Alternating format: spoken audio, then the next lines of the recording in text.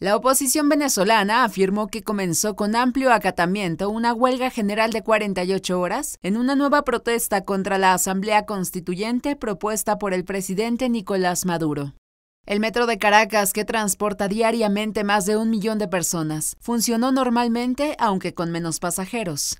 Al llamado paro cívico se sumó el gremio de los transportistas, mientras que comercios y tiendas no abrieron por falta de personal. El gobierno hizo un llamado al trabajo y la televisión oficial presentó imágenes de movilizaciones en calles y estaciones del metro, afirmando que muchos sectores económicos trabajaron con normalidad.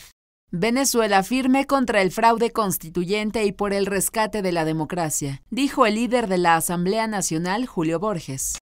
El dirigente opositor Leopoldo López, quien cumple su condena en reclusión domiciliaria, dijo en un mensaje grabado que respaldaba el paro cívico.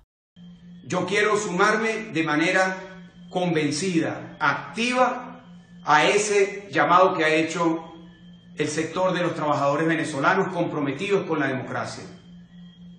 Que sea claro el mensaje de un paro cívico, huelga general en todo el país durante 48 horas.